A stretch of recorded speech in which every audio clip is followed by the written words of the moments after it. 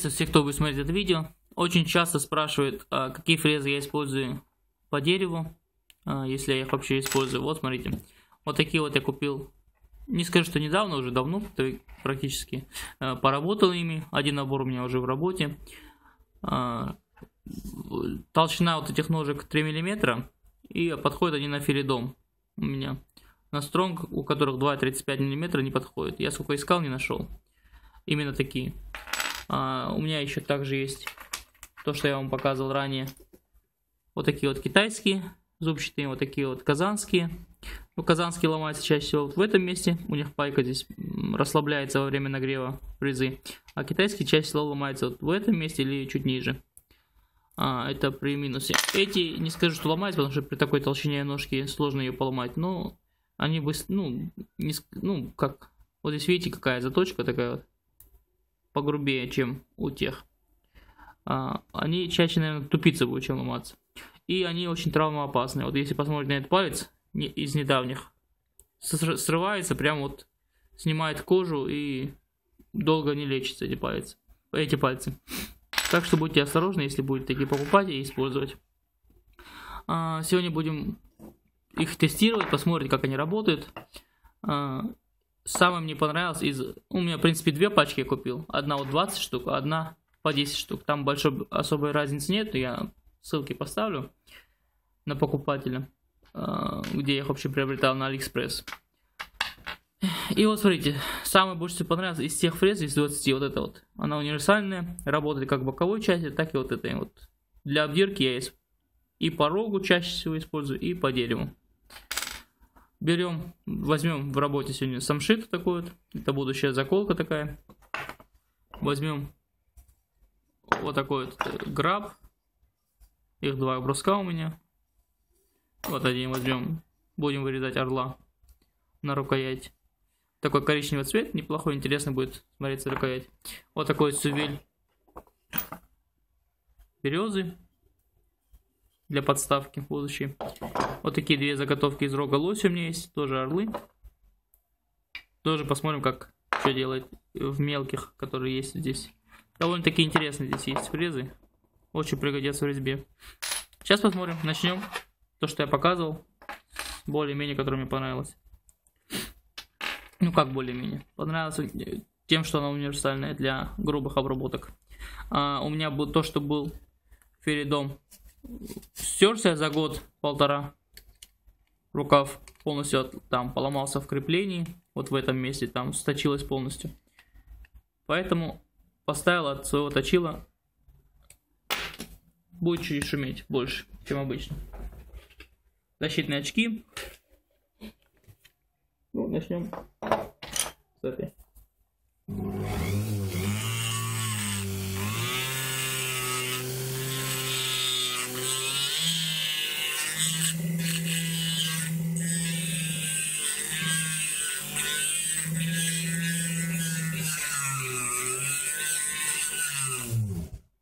Как видите, снимает просто как обычную сосну. Хотя твердое очень дерево. Очень твердое дерево. Кто работал, тот знает. Так, возьмем граб.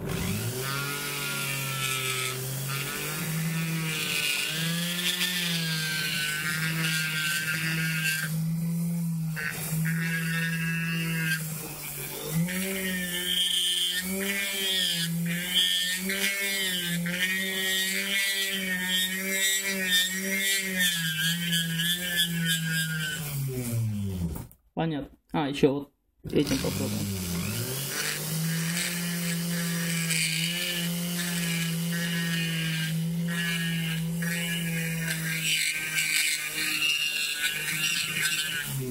На ура грызет. Не понравилось. Попробуем другие. Здесь принцип работы у всех одинаковый, так что вот круглый возьмем. Для разнообразия.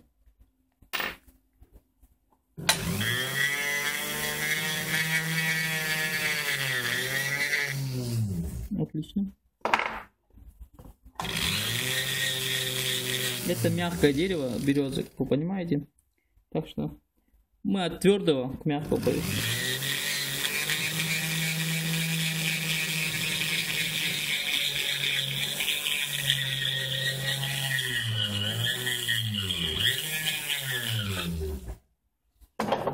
Возьмем твердый рог лося.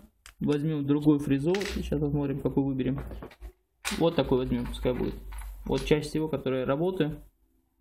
Прямая цилиндрическая фреза.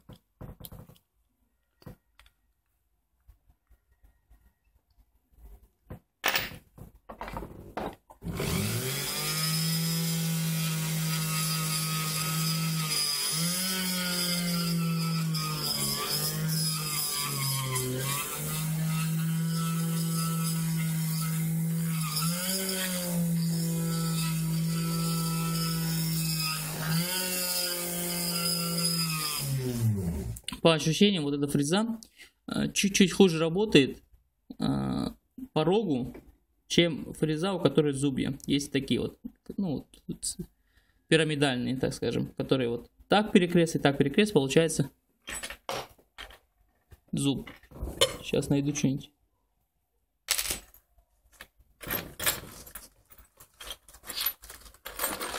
Сейчас как назло не найду ничего. А вот она.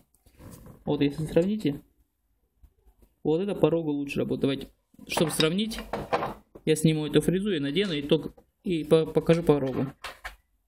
Ну, покупал я не для рога, а именно для дерева. А дерево, как видите, снимает очень быстро, легко. И вот то, что снимает ну, основные большие, то я их использую в роге. Чтобы быстрее все получалось.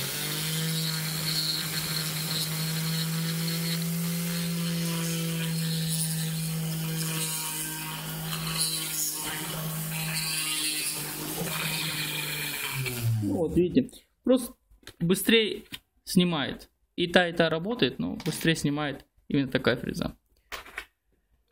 Так, теперь попробуем большой фрезой попробовать по рогу ну, поработать. Снимать она снимает.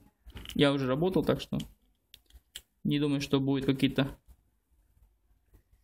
неожиданности.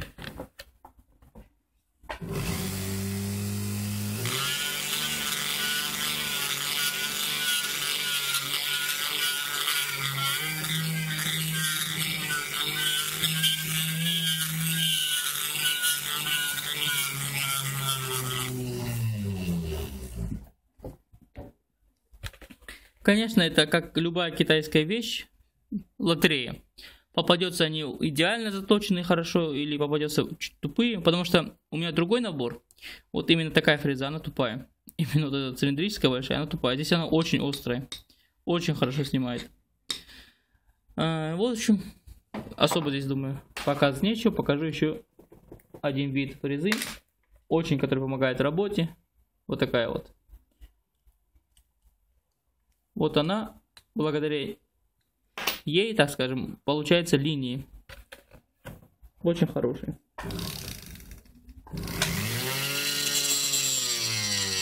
Видите, за один проход. Возьмем самшит.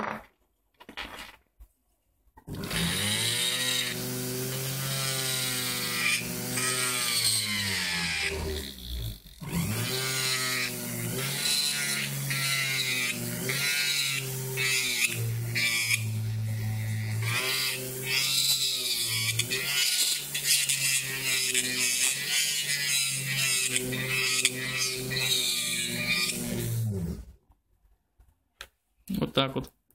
Ну и покажу на этой, э, на этой заготовке фрезу. Ну, давайте какой форму покажем. Вот этой формы. Тоже интересная форма.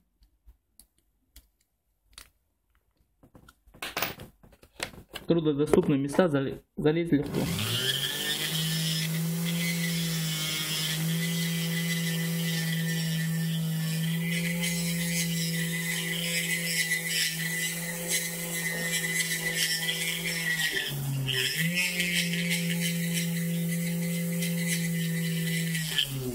Для объемной резьбы именно то, что надо. То, что давно не было у китайцев. Когда я покупал, я покупал их лет, наверное, 5 назад фрезы свои. То, что у меня пальчики лежат до сих пор. Вот такие вот. С тех пор они ну, не стоят на месте, очень хорошо работают, молодцы. И они, самое главное, очень дешевые. Очень. Вот по сравнению с этими, которые пачка 10 штук стоили до 1000 рублей, когда я брал 1000 с чем-то, потом 1000 рублей, потом они подорожали, потом подешевели. Эти стоят до 200 рублей, по-моему. Да, где-то так, по-моему. Посмотрим. Я не помню точно, сколько они стоили. Посмотрим по ссылке, сколько они там стоят. Вот такие вот мои инструменты. Вот такое вот видео. Как всегда, нравится ставить палец вверх, не нравится вниз. Всем здоровья, всем пока.